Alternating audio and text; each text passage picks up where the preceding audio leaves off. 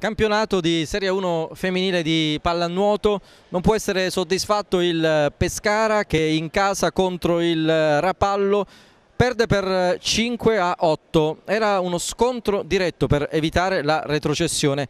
I parziali 2-3, 2-1, 0-2, 1-2.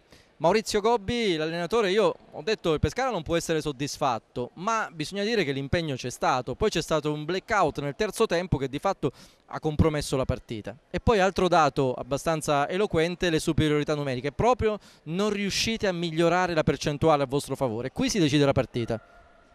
Eh sicuramente, anche perché poi dipende nei momenti in cui arrivano le superiorità numeriche e nei momenti in cui si, si sbagliano. Ci sono momenti topici nel corso della partita e lì bisogna cercare di mettere la palla, la palla dentro. Loro l'hanno fatto proprio nei momenti più importanti e noi non siamo stati capaci. L'impegno sicuramente c'è stato come devo dire dopo la partita col Bologna veramente disastrosa c'è stato sempre impegno in tutte le altre partite. E il rammarico non riuscire a dare una gioia al pubblico di casa, visto che siamo riusciti a vincere una partita in trasferta, eh, mi avrebbe fatto molto piacere per noi, per la classifica, eh, per la dirigenza e per il pubblico vincere anche una partita in casa. E il nostro scopo sarà quello di farlo da qui alla fine.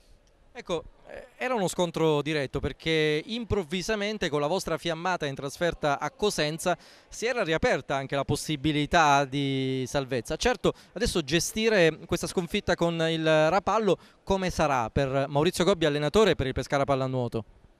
Noi abbiamo cinque partite sulla carta tutte proibitive o quasi, però per noi la proibitiva anche quella di Cosenza, poi andando un po' liberi di mente abbiamo vinto la partita bene lì. Non ci possiamo tirare indietro fin quando la matematica non ci condanna. Eh, probabilmente il Rapallo è andato via, ma se i risultati saranno quelli che penso, il Cosenza è sempre a quattro punti, quindi a due vittorie da, da noi e hanno un calendario molto difficile anche loro per cui abbiamo il dovere in queste ultime cinque partite di provarci senz'altro fino alla fine. È una domanda che può essere banale, insomma buttiamola così sui, sui, numeri, ma quando in allenamento voi provate le superiorità numeriche, immagino che le percentuali siano nettamente superiori che in partita, perché 1 su 9 non è solo il dato della partita contro il Rapallo, ma un po' di tutte le ultime partite. Problema mentale, problema di che tipo, secondo te? Non vorrei minimizzare la cosa, ma eh, secondo me veramente lì viene fuori l'età della squadra e l'inesperienza, perché in partita, in allenamento, anche sotto stress, la palla circola molto meglio, si trovano buone soluzioni. In partita è come se scattasse un blackout eh, e non si vedono le compagne libere, non si vedono le avversarie.